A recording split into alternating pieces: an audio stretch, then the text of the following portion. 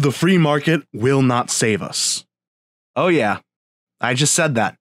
What was your response? If you're not already following me down the rabbit hole, I could see you reacting in one of a few ways.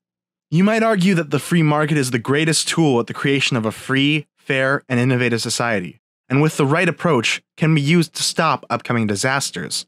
It just has to be proven that it will be more profitable in the long run, and then the entrepreneurs and their researchers can help to mitigate or even solve these issues. The motives of profit are too powerful for any hope of using market forces to solve disasters. The world needs complete systemic change and needs it yesterday. The Earth is nearing its tipping point, and it seems highly unlikely that we'll get the changes needed to stop it. Why should anyone bother at this point? The Earth could already be doomed due to the slow shift of human progress.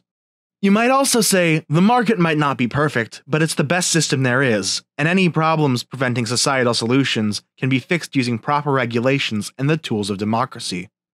To any of these answers and any other variations you may have, I'd like for you to sit down and listen for a bit. If I can't convince you, then feel free to chide me in the comments and call me names. I can take it. I've seen some stuff. I'm not going to argue in this video for any system. That's for another time.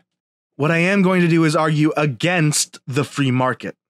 This is why the free market will not save us. The free market isn't free. Many people in my audience may be aware, but most people might not be, of one key feature of the free market it's a lie. I'm talking the idea of the growth of a nation, or an individual, or the accumulation of wealth, or any sort of genuine innovation, is not a result of complete free trade and free association. The truth about the free market, otherwise known as neoliberalism, and how things have run for the past 200 years for that matter, is that state intervention is necessary to keep the whole thing running. There are two major schools of thought in response to this information. A. The free market is by definition free trade and free association. To consider the current state of trade and international monetary policy as free is not true. This is not a free market. If you consider this stance, it seems perfectly logical. State intervention prevents the market from being free.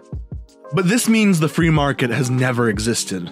As mentioned before, the state has always been key in maintaining and growing the power of capital.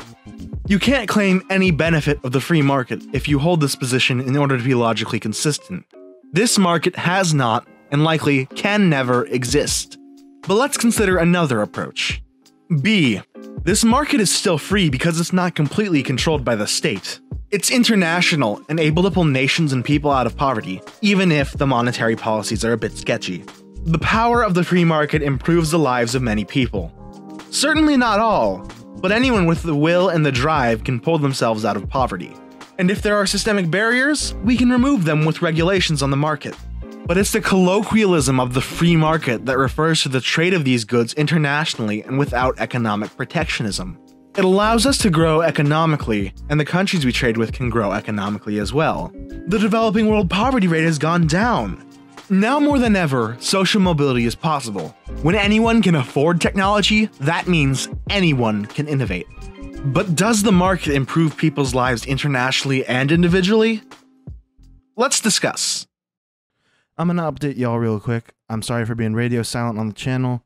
My Twitter is more active, but it's not fair to y'all to be gone for three months, four months, and not have anything uploaded.